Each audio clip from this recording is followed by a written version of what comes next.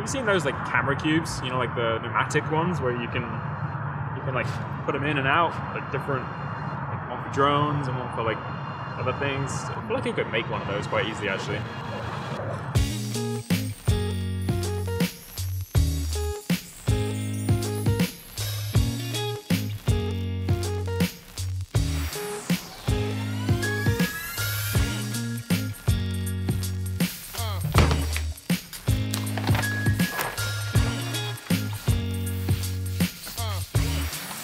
So in the usual fashion, we have leather, obviously. This is a 6 ounce veg tan, pretty stiff, so I think it should work pretty well.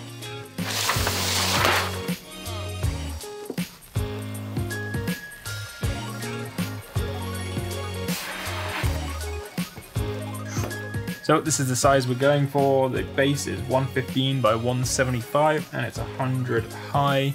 Uh, you'll you'll see why these dimensions later. What we're doing is a very simple mesh, and then we're gonna have some little whoop, tags here to be able to attach everything together. You, you'll see. Uh, I'm, I'm doing this without a pattern, which usually isn't a great idea because it never comes out quite right.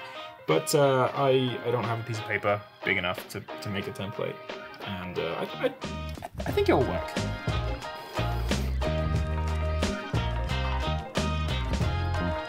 So in order to enact this plan, I'm gonna now have to mark out these corners to, to cut out.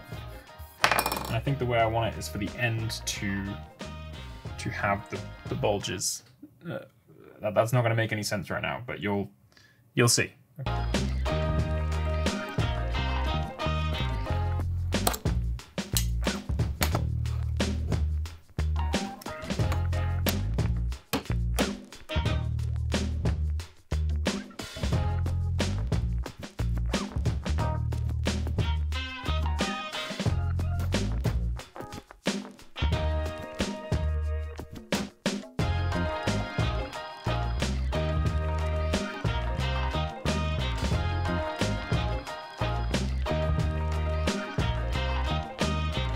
Kind of like that.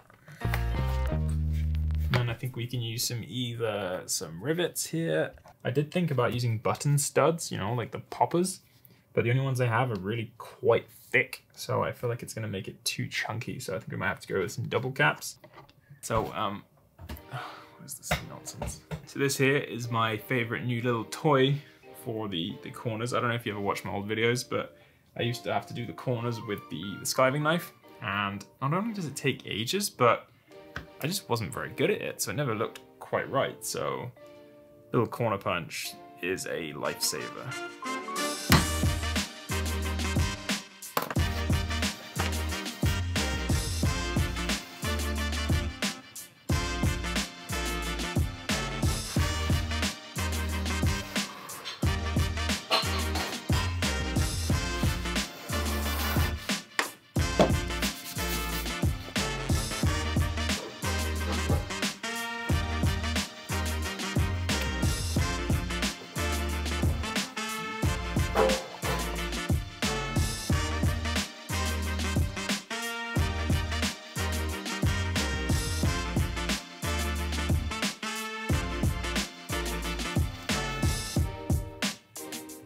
So edges are done, holes are made. I think we just need to put in the rivets and then we're done.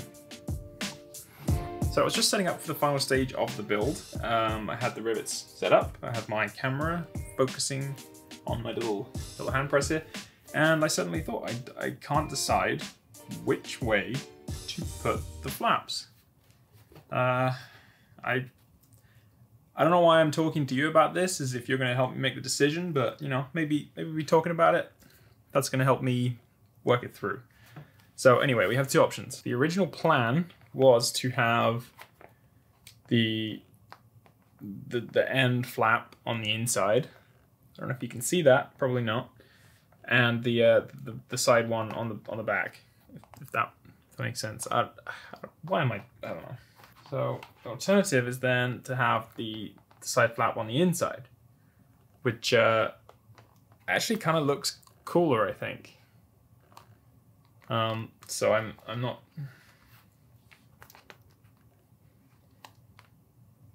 Not really sure.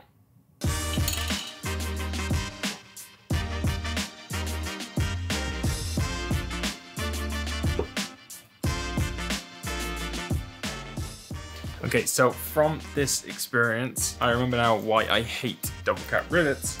Um, blame me all you want, say that I'm not, not installing them correctly, but honestly, they're just kind of If you watch my videos before, you know that I usually prefer these rivet and burrs. They're, they're solid copper, they look great, they are strong as but they just, I just don't really want the hassle this time.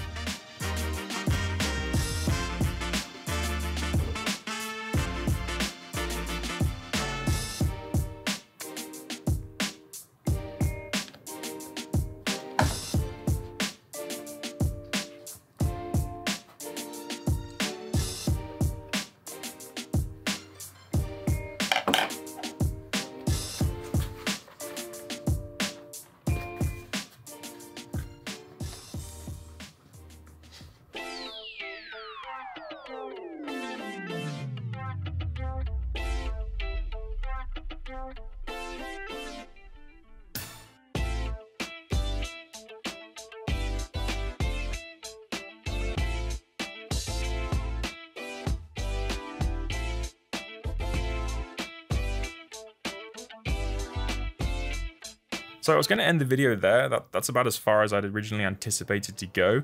But uh, in the usual fashion, I wasn't I wasn't overly happy with the end result.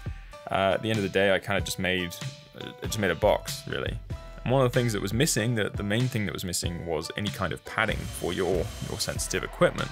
So I went out, I got some foam, got some three quarter inch foam and stuck that to the inside with some uh, contact adhesive.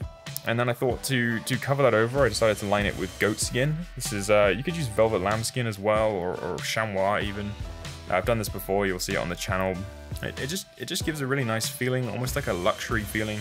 Uh, certainly is a lot of extra work doing all the interior, but it makes a big difference to the look, feel, and functionality of the product. And what I like about this design is it's, it's quite accessible, really. The leather itself is probably a few dollars worth. The foam, I got a huge roll of it for 12 bucks. Goat skin is, is really cheap actually, and I'd recommend always having some, some goat skin or lambskin in your inventory for projects like this. And of course, your choice of rivets, or here I've used Chicago screws. And if you like to finish your edges like this, then obviously some edge finishing paint is required as well. But overall, really not a complicated process, so uh, I think this is a fun little project for anyone who's looking to to create something a little bit unique and a little bit customized to your specific needs.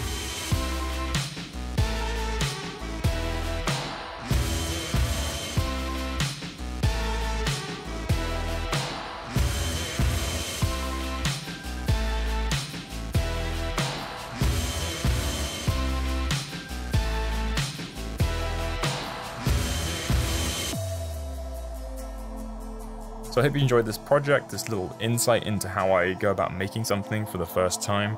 Please don't forget to like, comment, subscribe if you appreciate the video, and I look forward to seeing you next time. Take care.